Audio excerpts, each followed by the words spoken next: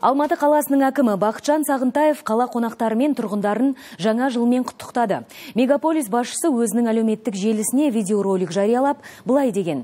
Ардақты алматылықтар және қала қонақтары, баршаңызды босағамыздан аттағалы тұрған жаңа 2020 жылмен шын жүректен құттықтаймын. Жаңа жыл жаңа күннің жаршысы. Өткен жылды қорытындылап, болашаққа батыл қадам жасайтын уақыт. Жаңа жыл жақындарымызбен қауышып, армандарымызбен табысатын мерейлі мереке.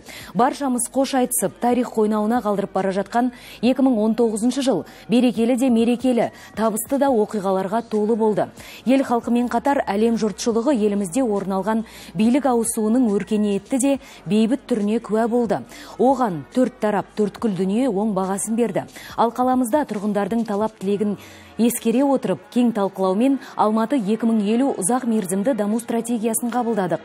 Аталған бағдарлама Алматы келбетіне көрік қосып, жұртшылыққа қолайлы, қауіпсіз әрі шетсіз қала құру бойынша басым бағыттарды іске асыруға мүмкіндік берері сөзсіз дей келе, әр шаңыраққа бақыт пен береке, қуаныш пен шаттық тіледі.